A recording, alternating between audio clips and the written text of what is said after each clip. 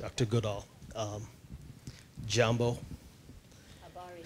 Habari Gani, and Asante Sana. So that's our connection to Africa. Uh, you and I. sh- Swahili, by the way, for those yes, of you who don't for those know. of you that don't don't know, I was born in Kenya, so I, I know Swahili. That's why Jambo and Asante Sana for being here. Um, we share a connection. Dr. Leakey used to come to my grandfather's barber shop for haircuts. Wow. and of course, we share a history. We have seen elephants in their masses. I'm sure you have experienced the same. Maybe I don't know how long you've been in Africa, but I remember traveling from Nairobi to Mombasa and waiting on the road for hours as the elephant herds would cross the road. I was there in 57. I was born in 66. Exactly. So exactly. That's why I said And it. so you've witnessed that. I remember my grandfather telling me, uh, actually showing me a picture of a square mile um, taken from the air with a Royal Air Force airplane um, of the ground with just elephant. So you can imagine how many elephants used to be in those days. Today, we know what the plight of the elephants and the rhinos are. What is the Jane Goodall Institute doing to help with that effort? We've seen the success at Gombe and around Africa, around chimpanzee conservation. Is there anything the Goodall Institute is doing around Okay, well- that conservation? JGI is stretched to its limit to try and save chimpanzees in their forests. Fortunately, uh, when you save a forest, you, you hopefully can save the creatures in it, and there are forest elephants. So in places where there are forest elephants, we actually uh, one poacher to be arrested who had shot an elephant.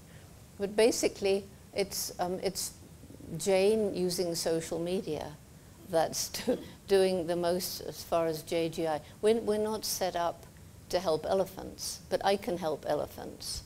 And so um, I think it's, I don't think it's over yet. I think we're in time. We've been putting out um, information on my blog about it's the March for the Rhinos and Elephants, and I think it's this week or next, maybe next week. And it's worldwide. And you can, you can Google it. You, I follow you closely You've seen it, so, all right. So I, I also wrote a piece for World Elephant Day. We have our Roots and Shoots groups working, doing amazing things for elephants. So JGI itself can't, but Roots and Shoots can do anything.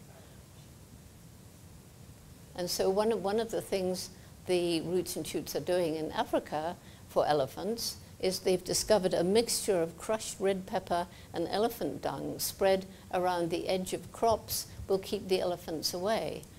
And bees, they're doing bees as well. The, the bees, because imagine bees up your trunk. Elephants are afraid of bees. I mean, can you imagine? Ugh, makes it. But uh, in addition, of course, one of the big problems for elephants and rhino is the demand. And the demand is, is so absurd now, and the cost of ivory and rhino horn is so high that you've got your big international criminal gangs coming in. So we, we uh, are working very hard with our Roots and Shoots groups in, in China and Hong Kong and Singapore and other countries about don't buy ivory, what it means. And they have parents, and it was quite, quite efficient what we did in China for shark's fin. So now working hard on for elephants and rhinos. I care about elephants probably as much as you do, or more. I've spent hours watching them.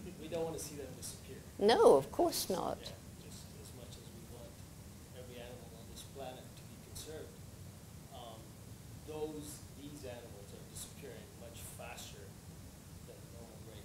It's the sixth great extinction, Yes, and we're not going to let it happen. thank you. Another question? I have one. Please come down a little bit. We'll give you the mic.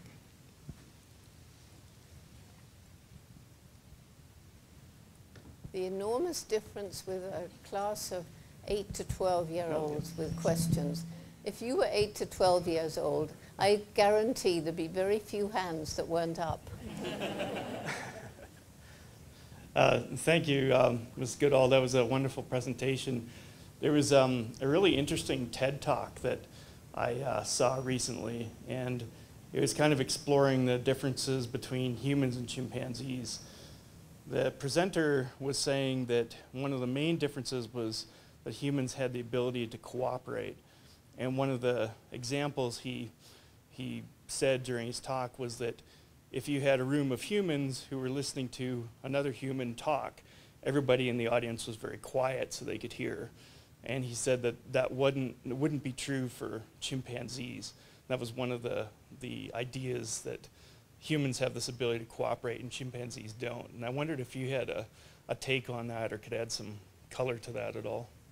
He was telling lies. um, I have to stand up here because the lights are in my eyes otherwise. I can look out over the audience better this way. That's better. Um, chimpanzees actually can cooperate really well in the wild. The males have this amazing cooperation when they're patrolling the boundaries of the territory. And one of them will look over the valley, look around at the others, maybe reach out and touch. And this is a signal. And they all go off and they keep completely quiet. And if it's uh, leaves, dry leaves or grass, they'll sometimes go on the rocks so as not to make a noise. They may climb a tall tree, keep totally silent. And once uh, one of the young ones started playing with another and laughed and immediately was reprimanded because you've got to be quite quiet when you're looking out for, and then cooperating on these horrible gang attacks. But they also cooperate in, hunt, cooperate in hunting and surround a tree and go to the places where the prey might escape, and then one will go creeping up. And so either, either the, the one will catch the monkey or some of those others who are stationed in escape routes will catch it. So they, they definitely can cooperate. And in captivity, they do all kinds of tests uh, which prove absolutely chimpanzees can cooperate with each other. Of course, with the, with the example given of a room of people talking and everybody going silent, that doesn't make sense because chimps don't talk. So, you know, his example wasn't a very sensible one. There's a question there and there. Thanks a million, Jane. That was fascinating. Um, you mentioned uh, how when you were a little girl, the technologies that we have now would have seemed like science fiction or magic.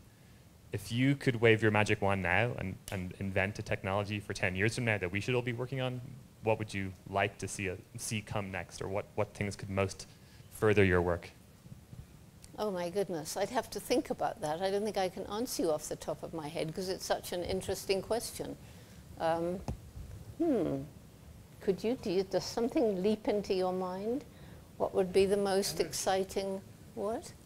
Well, the clean green energy, you mean, you mean anything? Sure, yeah. Yes, well, to, to be released from fossil fuels, to have no more of these chemicals being sprayed over our fields, to go back from um, agribusiness intensive monocultures to the proper kind of farming, permaculture and so forth. But that's not really technology. That's going back to an old wisdom that we have pushed aside, or some people have. But yes, getting, getting rid of fossil fuels, indeed. Yeah. I was wondering if over time, in the areas you worked in, you had to deal with uh, oh, um, uh, mining, both illegal and legal. I work on a watershed project in Peru, and it's our primary concern at this point, just because of the area we're in and what we're trying to preserve. And I was wondering if over time you guys had had some experience with that, and if we could get some pointers on our watershed project. Around Gombe, fortunately, there's no, there's nothing to mine for. They've had problems in in uh, Congo Brazzaville, and I know there's a lot of problems in DRC. Do you have any wise comments to make about ways of dealing with mining? Well, um, mining is uh, it, it's something which we, I mean, the watershed approach is that um, it turns out that watershed approach would, it's the best way for us to connect with people um, livelihoods through ecosystem services. If we respect the watersheds, uh, and usually it means forests, it means that we could probably find a balance between having land uses also for people to have their crops, maybe other uses, um, but also um, have forests for the, for the chimps as a habitat. So watershed approach actually was behind that map. If you saw it, all the village reserves are on top of watershed, protecting critical watersheds. And actually, people came to us when we were doing land use planning, uh, conservation planning, and said, could you please think about watersheds? Because that year, when we did the cap, it was, uh, I think, in um, an El Nino year where they had a lot of um, rain. So everybody experienced landslides. And everyone realized that what we have been talking since 1994, it's happening, and climate change is happening. So I think he's meaning, what do you do? You know about the value of the watershed, Yeah. but when the mining company is coming in, um, especially in Peru, I know, I know about that, and Yeah, polluting the entire also, of course, watershed. I- It's the rough equivalent of poaching, though, on the land, Yeah. where illegal mining takes place, and of course, they're using crude methods to extract gold. And, and horribly polluting the water. The, One thing which we do in Eastern DRC, which is equally challenging, um, and incredible, I mean, it's incredibly challenging and risky to work there, is we try to empower people at the territory level who are supposed to zone and manage mining and try to empower them with spatial information. Because mining is a use of natural resources, and in some areas could be okay if a smart land use plan is done with both wildlife and people in mind. So it's all about planning. It's not about stopping mining, at least in the work which we do on the ground. We can't say that. We have to work with a variety of land uses, including mining, but can we use this information and tools, including imagery, to do a better job? And can we empower the people who then can, because they get, you know, they will, they're supposed to get taxes and so on coming, so they have an interest. It's just they don't have the tools and power to, to go through. So that would be another opportunity. and can we eliminate corruption too? Well, this goes hand in hand, and, and by the way, um, Jane mentioned, you know, about that the GPS helps us see a transparency if that forest monitor really visited that area. It's not so much for JGI, it's for about each other. It's a community thing. So suddenly see, oh, wait a minute, I just spent so many days in the forest and my neighbor didn't. So suddenly there is uh, accountability and transparency, which something really interesting is happening, deals with corruption and empowerment. And, it's, and again, it's, the experiment is going on. It's not. It will be interesting to see how it ends up in increasing democracy, hopefully. Hi. Um, so this journey began with your love and connection with the animals, and yet I heard that you travel three, oh sorry, you travel 300 days a year now.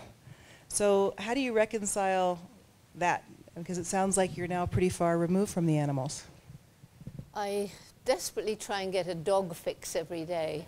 You know, I go up to people in the street. And no, it's, it's, uh, it's, it's something I just have to live with. And I do any, any possible opportunity, I try and get out, even if it's a little bit of nature, even if it's for a short time. Uh, but my days of being at peace in the forest are over. Even if, even if I could be out in the forest, I wouldn't be at peace because I know that that's not helping anything if I'm enjoying myself in the forest.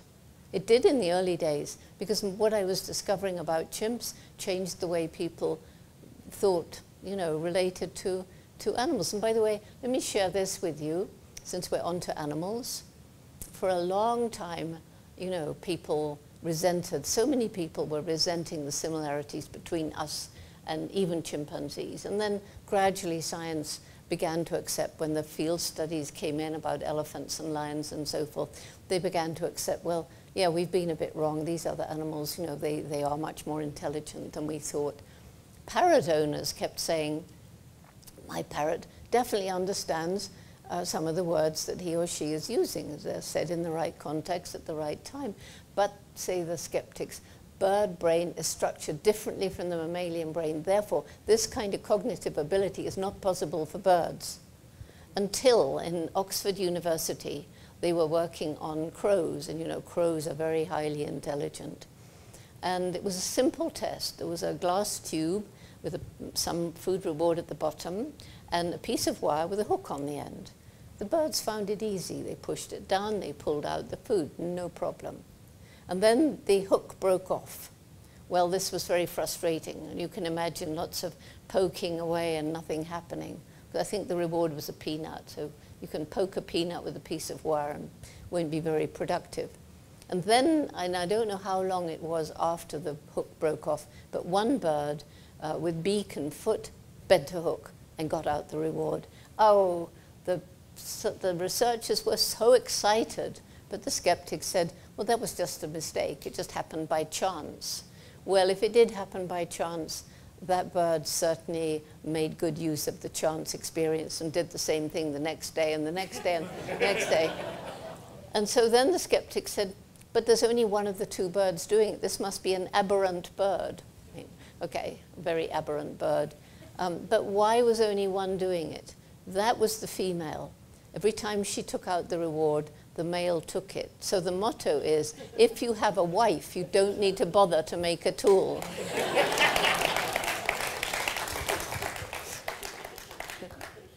There's one here and one here. This one? Um, one quick question. I've been staring at this picture behind you, actually, during most of your talk, and I just have to ask the question, what was that experience like for you, that first moment that you were able to maintain contact, physical contact with a chimpanzee? Because you mentioned during your talk that the beginning of your journey, you were so far removed because they saw you as the white ape and they had never seen that before. So what was that first moment like? Or even that moment within this picture? This, this moment um, was very early on. That's little Flint when he's about three months old, just beginning to walk. And the magic of it was that his mother trusted me now so much that she let her precious little infant come out and reach out. The first time he did it, it's actually the cover of the book the Geographic produced. It's one of my favorite pictures. And he's coming towards the camera. I have my back to it. And his mother is still not quite sure. So she's standing there behind him and she's got a hand around his tummy. And he's reaching up and you see those big wondering eyes and he touches my nose. And it was such a magical moment. Just as when David Greybeard let me groom him. We don't touch them anymore. We know that they can catch our diseases. When this was happening, you know, I didn't expect that I'd be able to stay for more than, much more than one or two years, because nobody did back then. It was unheard of. But once, once I realized that, you know, we can stay and stay and bring in students, then we mustn't touch them because we don't want to mess up their lives.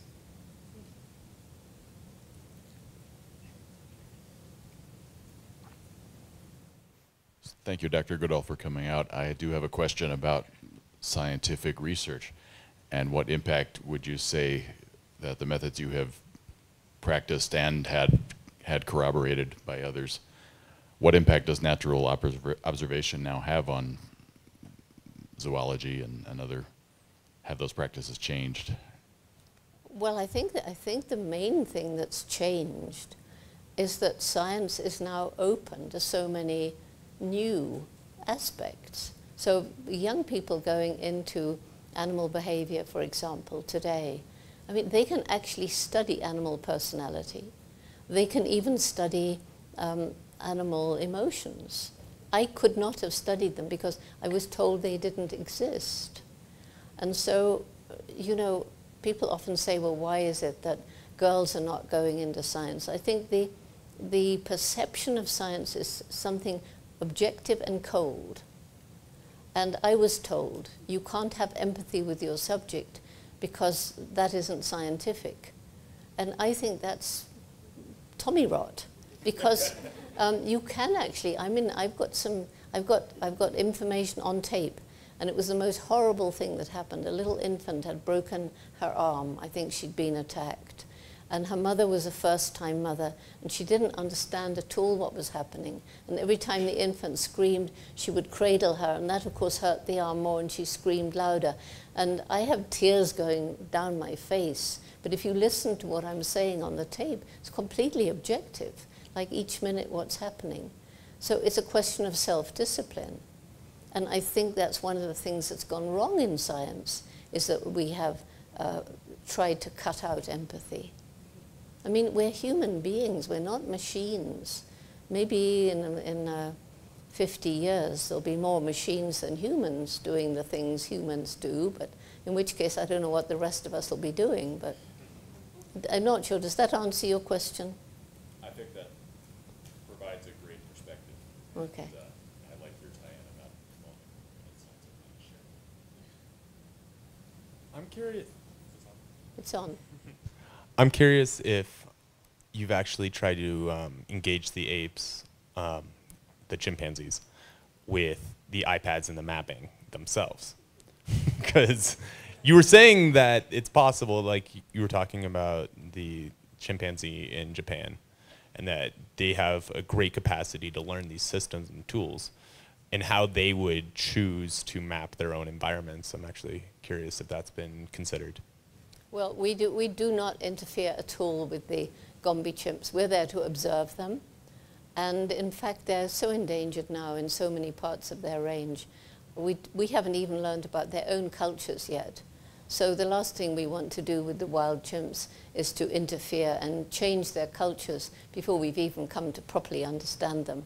You know, after 55 years, we're still learning new things about the Gombe chimps, and they've been studied for for so long. They can live to be more than 60. And so it's a very long-term study you need. Uh, but it's it, with the captive chimps where sometimes this kind of experimentation with technology and so forth, it serves as enrichment of their environment because they get bored. So one of the things we, we, JGI does going around the zoos with chimps is to enrich the environment and that means challenging them, giving them giving them tasks to perform instead of just throwing their food at them. One last question.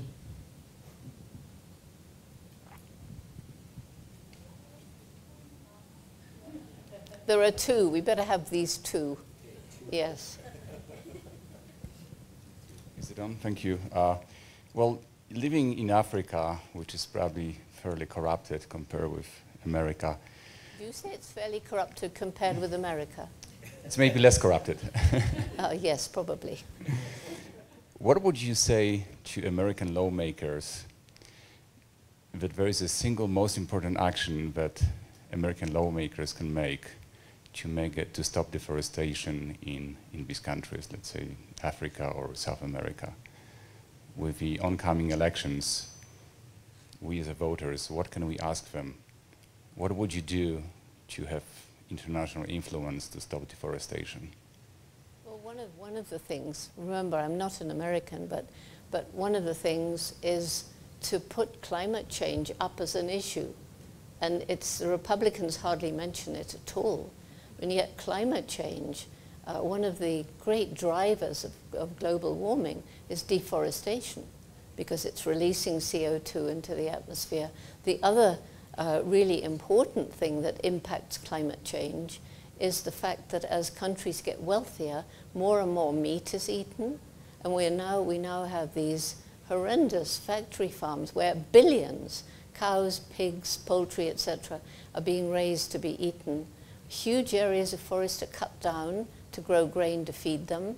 Cattle are pushed further and further into forests, which they change to woodland, and eventually it becomes totally degraded. We see it in Tanzania, I've seen it in Argentina and many other places.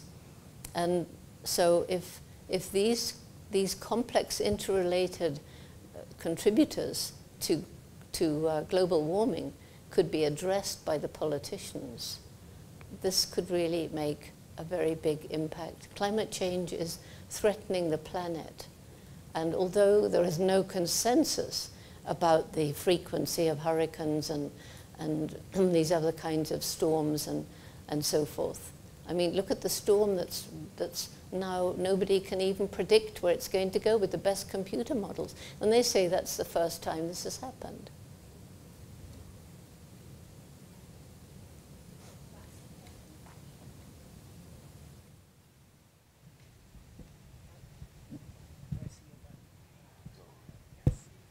Hello, uh, I'm honored to have the last question, and um, I've just been in awe about your research. Um, basically, if the chimps are so similar to us, um, is there any message that you could pass along to us and to future generations from the chimps um, as to how, eh, are there any insights as to human behavior and how we can be a better species uh, to to be better in conservation. Um, they, they mirror us in so many different ways, and given your vast experience over the past decades of uh, chimpanzee conservation and behavior and uh, their family life, are there any parallels that you could draw between them and us to uh, inform us how we should um, improve our, our lives? I think uh, one thing that's very important that I've learned from them What I started with, the tremendous importance of early experience.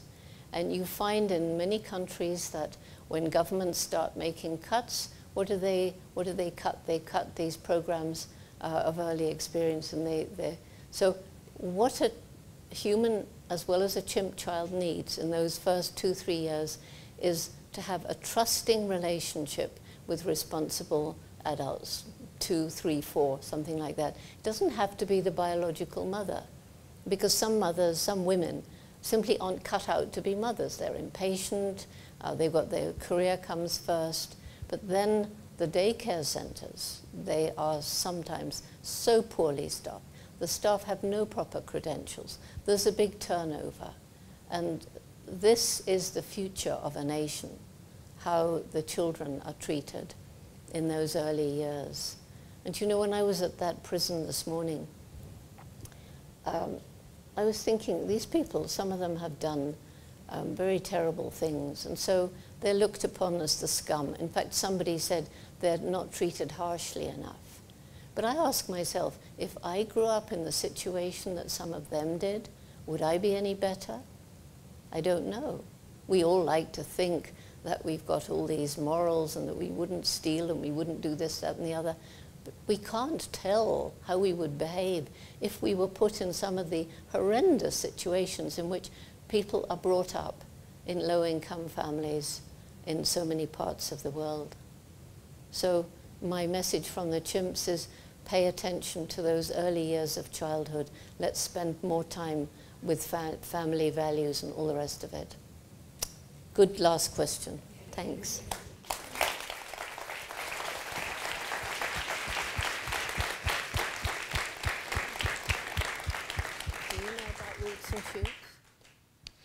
Uh, th thank you, Dr. Pintea.